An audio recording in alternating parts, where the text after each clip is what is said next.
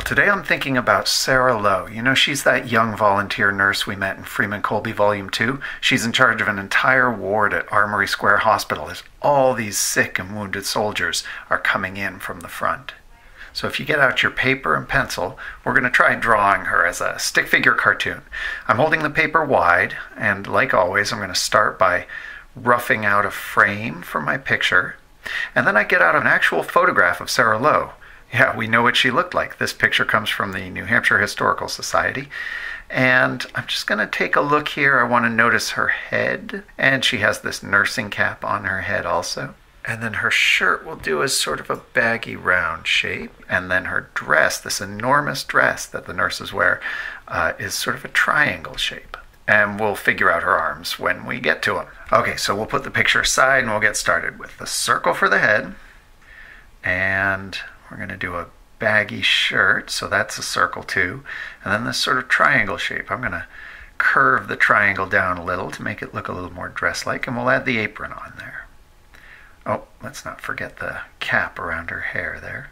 Of course, as a stick figure cartoon, this is really different from the photograph, isn't it? I mean, I'm just using dots and lines for her eyes and mouth, but hopefully it gives a sense of her character.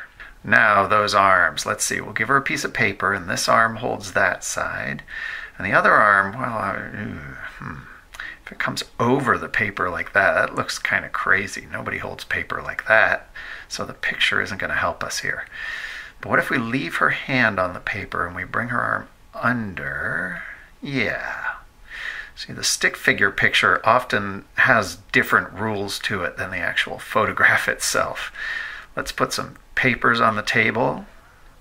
I see she's arranged some bottles of medicine here. She must have just stopped her nursing work to check in with her letter writing projects.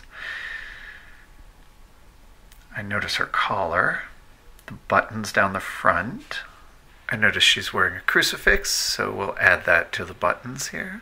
And we'll add some folds to her dress to bring out the fabric. Now, at a certain point, I can put that photograph away and let this picture kind of breathe and have its own life. For instance, I see in this space, I kind of want to put a, a window there.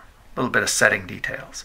And another thing Sarah Low mentions in her letters is the hospital cats. She seems kind of fond of these cats, so every chance I get, I draw a cat into the picture with her in the hospital ward. And if I consult the picture again, I might notice that chair behind her, and I add it in. No, and I take it out. It looks like something stuck in her backbone there. So we don't need the chair. Maybe a poster, a calendar. I'll put the year on there. And that reminds me, we can put sort of a title up here Nurse Sarah Low Armory Square Hospital, Washington, D.C., and right below that is the calendar, so you know the time and place of this picture too. Okay, so let's see. We made sure we included faces. We made sure we have some actions. She's doing something here. We have some setting details. And we have some text. That means we have FAST, the FAST tools, and we are ready to ink. Well, I find if I work faces, action, setting, and text into the same picture, then the picture sort of has a life of its own. It has a story of its own because of the chemistry of all those those tools, those elements. Let's see, maybe some dotted lines for the dress here.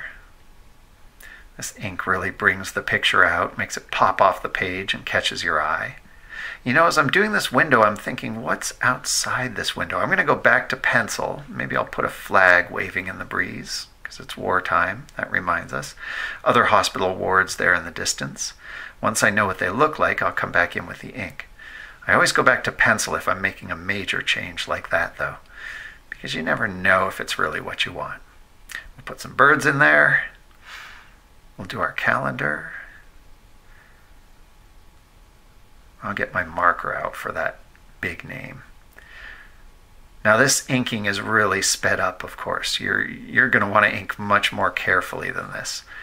You know, I'm kind of tempted to put a mouse in the corner there to kind of balance the cat. A little writing on the letter and we'll erase all our pencil lines.